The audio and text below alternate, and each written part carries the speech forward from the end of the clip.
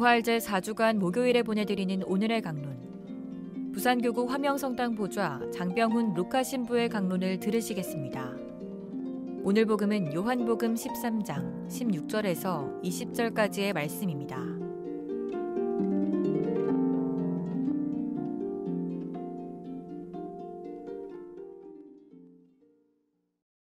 예수님께서 제자들의 발을 씻어 주신 다음 그들에게 말씀하셨다. 내가 진실로 진실로 너희에게 말한다. 종은 주인보다 높지 않고 파견된 이는 파견한 이보다 높지 않다. 이것을 알고 그대로 실천하면 너희는 행복하다. 내가 너희를 모두 가리켜 말하는 것은 아니다. 내가 뽑은 이들을 나는 안다. 그러나 제 빵을 먹던 그가 발꿈치를 치켜들며 저에게 대들었습니다. 라는 성경 말씀이 이루어져야 한다. 일이 일어나기 전에 내가 미리 너희에게 말해둔다. 일이 일어날 때에 내가 나임을 너희가 믿게 하려는 것이다. 내가 진실로 진실로 너희에게 말한다.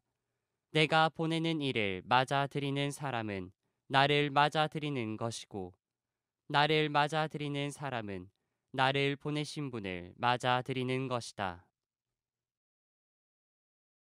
파견된 사람의 입장에 대해서 어떻게 생각하시나요? 역지사지라는 것을 이때에 한번 써보고 싶습니다. 만약 예루살렘에서 갈릴레아로 파견된 사람이 있다고 합시다.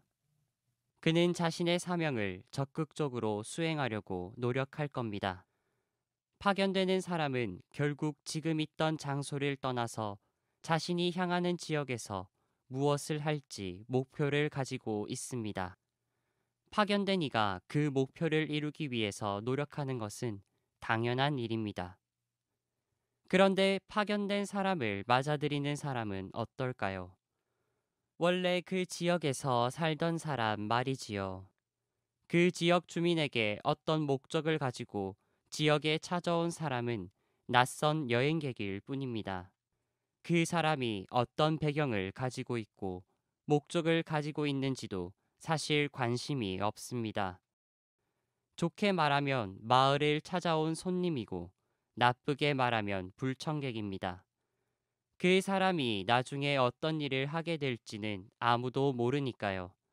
그렇기에 부담스럽습니다. 자신의 집으로 맞아들인다는 것은 더욱 힘든 일입니다.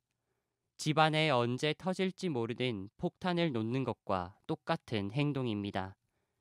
이 외부에서 온 여행객이 돌변할지 아닐지는 오직 그 사람에게만 달려 있으니까요.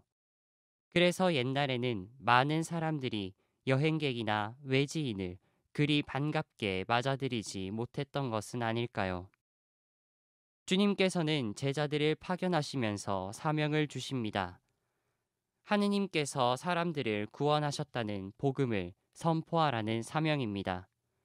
그 사명을 이루기 위해서 제자들은 먼 길을 마다하고 갈 것입니다. 지역 주민이 보면 외지인이요.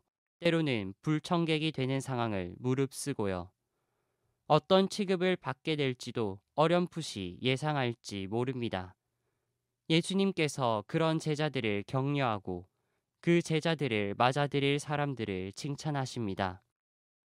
마음의 문을 닫아버리면 복음을 전하러 온 다른 이의 이야기를 듣지 못하게 됩니다. 내 마음의 문은 열려 있습니까? 아니면 굳게 닫혀 자물쇠로 잠겨 있습니까?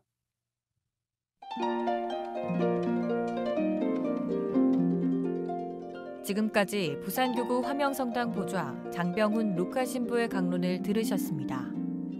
내일도 장병훈 신부의 강론이 이어집니다.